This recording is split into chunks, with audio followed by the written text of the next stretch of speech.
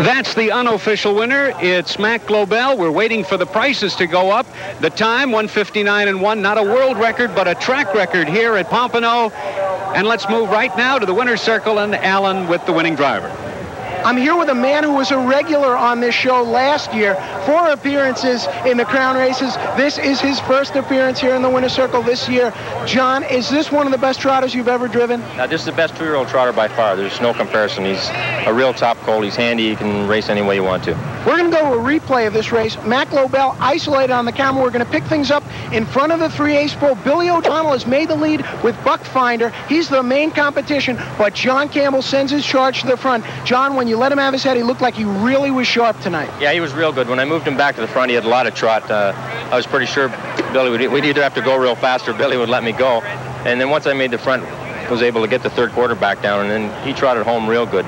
Last quarter in 28 and a piece, and we never started trotting until well into the stretch. Back down might be an understatement. 31 and 4 the three quarters, as a lot of the field was struggling behind him. BJ Superstar has been out a long way. He's going to range up into third now. John, no real challenge there. No, not really. He wasn't coming that fast, and it just shows how versatile this colt is. He, I gunned him to the front, and then he just came right back to me, and uh, he was no trouble at all to go third quarter like that. Now, you know that Mack Lobell holds the world records on a half-mile track and a mile track. You drove him that way. Here's a 5-8 mile track, and maybe he was sharp enough to take one tonight, but backing off the third quarter destroyed those chances. Any ideas why you did that? Well, uh, Buckfinder was definitely the one to beat, and I didn't want him to run down the third quarter and get tired and get beat at the wire. You look awful foolish doing that. I was more concerned with winning with when Buckfinder was on my back.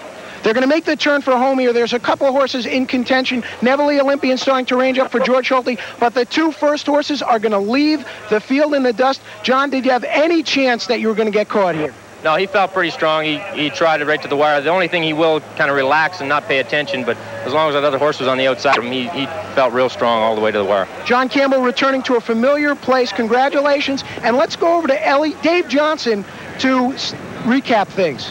Well, let's take a look at the light show on the infield uh, after we see that uh, the winner, Mack Lobell, pays 380, 280, and 280. The five horse, Buckfinder second at 340 and 280, with Nevele Olympian third at $6.40, and to the happy winner's circle in Ellie Sarama. I'm joined by Maureen Monahan, one of the members of the One More Time stable. Congratulations you, to you. This horse was a $17,000 purchase as a yearling. Right. What made you buy him? Oh, it was the first crop of Mystics, Mystic Park, and we thought, Mr. Guida thought that he definitely was going to make a great sire, and he definitely had to have a Mystic Park, so we bought Mack Lobell. Are you a little disappointed you didn't get the world record? You're never disappointed when you win, Ellie. no, never, especially a Breeders' Right, Crown race. so. Were you confident going into the race? yes, but there were some anxious moments coming down the stretch, but we were confident. Well, we'd like to give you our congratulations to the One More Time stable, and now back to Dave. Quite an evening here at Pompano Park. In the infield, Fred Van Lennep, chairman of the board of Pompano, making the trophy presentations. And again, the prices, Mack Lobell, 380, 280, 280, Buckfinder, 340, 280, Nevele Olympian, $6.40 for the show spot. Be sure to be with us next Friday for what should be one of the greatest nights in horse racing history as we go to Garden State Park in New Jersey.